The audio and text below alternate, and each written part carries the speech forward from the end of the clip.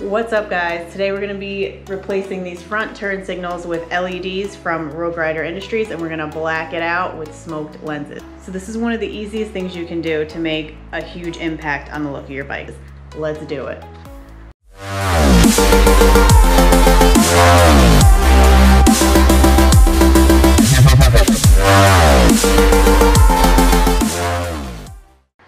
I finally decided to change these out. I was getting a ton of messages like, why are those still orange? And um, to be honest, I was kind of leaning towards getting lower profile lights. Decided not to, so I went back to my old trusted Rogue Rider Industries LED turn signals. Um, I had these on my old bike, loved them. They're so, so bright. These are the Black Label Special Edition. So I will show you what that means. Because we're blacking everything out, um, I got smoked covers also. So these are going, but the black label is just, you can see the background behind the LEDs is all black. So this is one of the easiest things you can do to make a huge impact on the look of your bike. Um, I'm really excited to do this because I did these levers the other day, so this is gonna finish it off. Okay, so first thing you're gonna do, around the edge of these covers, there's gonna be a little opening, a little slot, and that's gonna give you enough to get a little screwdriver in there and pop it out. Just be careful not to chip your paint. That's all that is, just a little cover.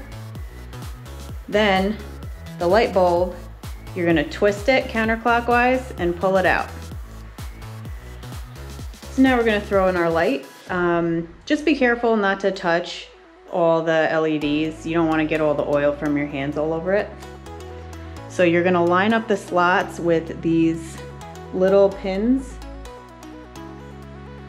push it in, and turn it to the right, and you'll feel it click. So you can see the difference. I ordered these right with my order from Rogue Rider. They were like five bucks extra. So I'm gonna have that ready because this is the fun part. You're gonna want to wrap this wire in there so it stays back.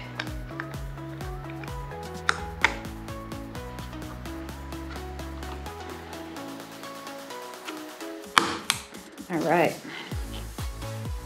So the secret is really make sure that you got that wire in the right spot so the light can be pushed back.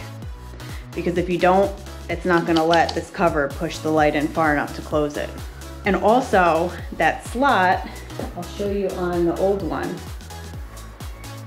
That slot that you fit the screwdriver in to take it out, make sure you got it pointed somewhere down because you don't want any water or anything getting into it. Whew. All right, I'm gonna turn on the lights now and we're gonna do a side by side. Wow. That's a pretty significant difference. And it's also not just for looks too, it's for safety. The brighter your lights are, the more visible you are to people, and it just matches so nice. So you can see now, it flashes the orange. All right, go to the other side. So we're gonna do the same thing here.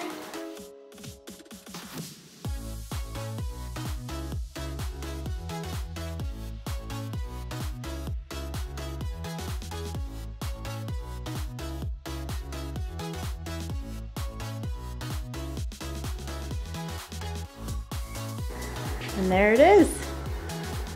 So much better. It just cleans it up so much. Those things don't stick out like a sore thumb like they used to. Just blacked out. Beautiful. She is looking mighty good. Hope this was helpful. If you like this video, hit that thumbs up button. It helps the channel a lot. And subscribe for more videos like this. And I will see you next time. Ride safe.